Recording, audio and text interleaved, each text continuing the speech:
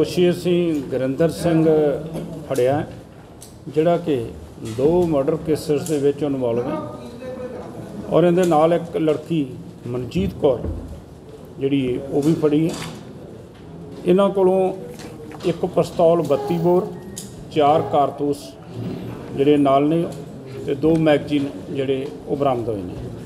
ਤੇ ਦੂਜਿਆਂ ਦੇ ਕੋਲੋਂ ਚਾਰ ਪਿਸਤੌਲ 1315 315 ਬੋਰ ਤੇ 16 ਕਾਰਤੂਸ ਜਿਹੜੇ ਨੇ ਉਹ ਬਰਾਮਦ ਕੀਤੇ ਨੇ। ਇਸ ਬੰਦੇ ਨੇ ਪਹਿਲਾ ਮਰਡਰ ਜਿਹੜਾ ਹੈ, ਉਹ ਹਰਨੀਤ ਕੌਰ ਦਾ ਕੀਤਾ ਹਰਨੀਤ ਕੌਰ ਜਿਹੜੀ ਕਿ ਇਹਦੀ ਕਜ਼ਨ ਲੱਗਦੀ ਸੀ, ਇਹਦੀ ਚਾਚੇ ਦੀ ਕੁੜੀ 28 10 2020 ਨੂੰ ਇਹਨੇ ਉਹਨੂੰ ਗੋਲੀਆਂ ਮਾਰ ਕੇ ਮਾਰਤਾ ਸੀ। ਤਿੰਨ ਫੈਰ ਉਹਦੇ ਤੇ ਕੀਤੇ, ਦੋ ਉਹਨੂੰ ਲੱਗੇ।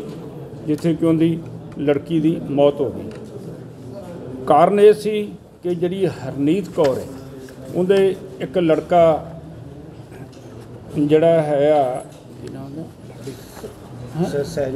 ਸਹਿਜਪ੍ਰੀਤ ਸਹਿਜਪ੍ਰੀਤ ਨਾਲ ਉਹਦੇ ਸੰਬੰਧ ਸਨ ਤੇ ਇਹ ਉਸ ਚੀਜ਼ ਨੂੰ ਰੋਕਦਾ ਸੀ ਤੇ ਇਹਨੇ ਜਿਹੜੀ ਇਹ ਲੜਕੀ ਦਾ ਮਰਡਰ ਕਰਤਾ। ਮਰਡਰ ਕਰਨ ਤੋਂ ਬਾਅਦ ਕੁਝ ਦਿਨਾਂ ਬਾਅਦ ਇਹਨੇ ਇੱਕ ਸੁਈਸਾਈਡ ਨੋਟ ਲਿਖ ਕੇ ਭਾਖੜਾ ਨਹਿਰ ਦੇ ਉੱਤੇ ਆਪਣਾ ਮੋਟਰਸਾਈਕਲ ਖੜਾ ਕਰਕੇ ਇੱਕ ਸੁਈਸਾਈਡ ਨੋਟ ਲਿਖ ਕੇ ਰੱਖਤਾ ਕਿ ਮੈਂ ਮਰ ਲੱਗਾ ਤੇ ਲੋਕਾਂ ਦੇ ਮਨ ਦੇ ਵਿੱਚ ਇਹ ਆਇਆ ਕਿ ਇਹਨੇ ਜਿਹੜਾ ਮਰ ਚੁੱਕਾ ਉਸ ਤੋਂ ਬਾਅਦ ਇਹਨੇ ਦੂਜਾ ਕਤਲ ਜਿਹੜਾ ਹੈ, ਉਹ ਇਹਨੇ ਕੀਤਾ ਹੈਗਾ ਹੈ ਵਰਿੰਦਰ ਸਿੰਘ ਉਰਫ ਬਾਣ। ਇਹ ਜਿਹੜਾ ਲੜ ਲੜਕੀ ਦੇ ਜਿਸ ਲੜਕੇ ਨਾਲ ਸੰਬੰਧ ਸਨ, ਇਹ ਉਹਦਾ ਜੀਜਾ ਲੱਗਦਾ ਸੀ। ਔਰ ਇਹ ਲੜਕਾ ਜਿਹੜਾ ਵਰਿੰਦਰ ਸਿੰਘ ਬਾਣੀਆ ਹੈ, ਇਹ ਲੜਕੀ ਦਾ ਤੇ ਆਪਦੇ ਸਾਲੇ ਦਾ ਵਿਆਹ ਕਰਾਉਣ ਦੇ ਵਿੱਚ ਇਹ ਪੂਰਾ ਯੋਗਦਾਨ ਪਾ ਰਿਹਾ ਸੀ।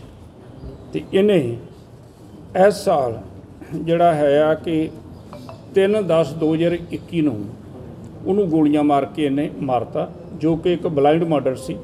ਇਹ ਜਿਹੜਾ ਟ੍ਰੇਸ ਕੀਤਾ।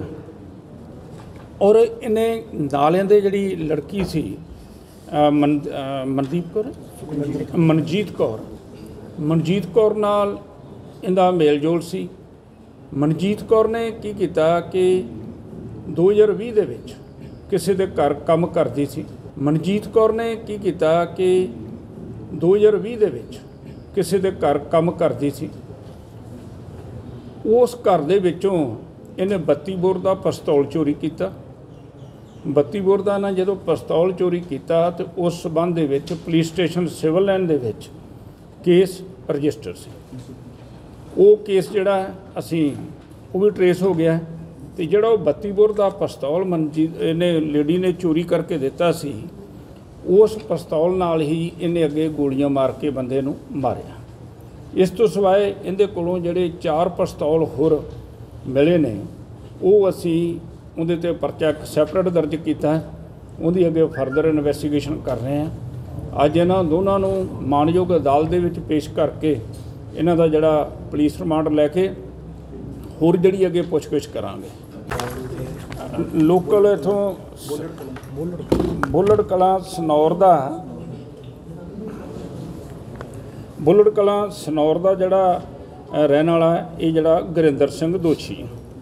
ਤੇ ਜਿਹੜੀ ਮਨਜੀਤ ਕੌਰ ਦੋਸ਼ਣ ਹੈ ਇਹ ਅਸਰਪੁਰ ਥਾਣਾ ਸਨੌਰ ਦੀ ਜਿਹੜੀ ਹੈ ਇਹ ਰਹਿਣ ਵਾਲੀ ਦੋਨਾਂ ਦਾ ਆਪਸੀ ਤਾਲਮੇਲ ਕਿਵੇਂ ਹੋਇਆ ਜੀ? ਕਿਸ ਤਰ੍ਹਾਂ ਵਾਲਾ ਇਹ ਆਪਸ ਦੇ ਵਿੱਚ ਪੁਰਾਣੇ ਦੋ ਇੱਕ ਦੂਜੇ ਨੂੰ ਜਾਣਦੇ ਸੀ।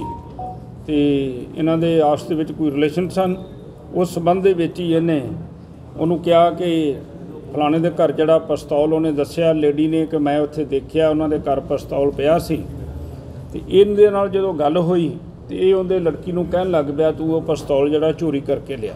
ਤੇ ਦੈਨ ਇਹਨੇ ਜਿਹੜਾ ਉਹ ਪਿਸਤੌਲ ਉੱਥੋਂ ਚੋਰੀ ਕਰਕੇ ਲੈ ਆਂਦਾ। ਬੰਦਾ ਕੀ ਕੰਮ ਕਰਦਾ? ਜਿਹੜਾ ਬੰਦਾ ਸੀ ਉਹ ਕੀ ਕੰਮ ਕਰਦਾ? ਇੱਕ ਜਣਾ ਇੱਕ ਜਣਾ ਸਵਾਲ ਕਰੋ। ਜਿਹੜਾ ਬੰਦਾ ਸੀ ਉਹ ਕੀ ਕੰਮ ਕਰਦਾ? ਜੀ? ਮਤਲਬ ਇੰਨੀ ਵਾਰਦਾਤਾਂ ਕੀਤੀਆਂ ਮਤਲਬ ਇਹ ਇਕੱਲੀ ਜਨਾਨੀ ਦੇ ਨਾਲ ਹੈ ਜਾਂ ਇਹਦੇ ਨਾਲ ਹੋਰ ਵੀ ਕੋਈ ਬੰਦੇ ਹੈਗੇ ਨਹੀਂ ਇਸ ਬੰਦੇ ਨੇ ਇਕੱਲੇ ਨਹੀਂ ਇਹ ਜਿਹੜੀਆਂ ਦੋਨੇ ਵਾਰਦਾਤਾਂ ਕੀਤੀਆਂ ਨੇ ਜਿਹੜੀ ਲੇਡੀ ਏ ਉਹਨੇ ਪਿਸਤੌਲ ਚੋਰੀ ਕਰਕੇ ਇਹਨੂੰ ਜਿਹੜਾ ਦਿੱਤਾ ਹੋਇਆ। ਸਰ ਬਾਕੀ ਅਸਲਾ ਕਿੱਥੋਂ ਆਇਆ ਜੀ ਜਿਹੜੇ ਬਾਕੀ ਦੇ ਪਿਸਤੌਲ ਇਹ ਜਿਹੜਾ ਹੁਣ ਅਸਲਾਂ ਦੇ ਤੋਂ ਬਰਾਮਦ ਹੋਇਆ ਚਾਰ ਪਿਸਤੌਲ 315 ਬੋਰ ਦੇ ਨੇ। ਜੀ।